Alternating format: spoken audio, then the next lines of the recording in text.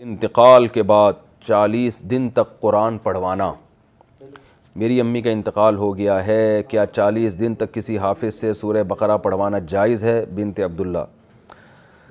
नहीं, ये बिदत अमल है। साल सवाब के लिए किसी को रखना बंदे को प्रॉपर तरीके से, ये ना असलाफ से कहीं साबित है, ना शरीयत में इसका कोई सबूत है। बस नेकी का सवाब मैत तक पहुँचता है। जैसे कि एक सहाबी ने कहा था कि, या रसूल अल्लाह मैं अपने वालिद, अपनी वालदा के लिए सदका करना चाहता हूँ। आपने फरमाया, करो। तो सदका है तो तिलावत भी एक नेकी है। तो अपने तौर पर जो जितना कुरान पढ़ सकता है, सदक़ात तो खैरात कर सकता है, वालिद साहब या वालदा की सवाब के लिए करना चाहिए। प्रॉपर किसी हाफिज़ को रख के उससे इतने दिन तक अमल करवाना, ये ठीक नहीं है, बिदत है ये अमल। किराए पर दी हुई दुकान पर ज़क़़त क्या होगी? मैंने अपनी ज्वेलरी को बेचा और एक दुकान ले ली कि इसको किराए पर दे दूँगी। लेकिन वह कमर्शल हब में है। इसकी ये क्या लिखा हुआ है।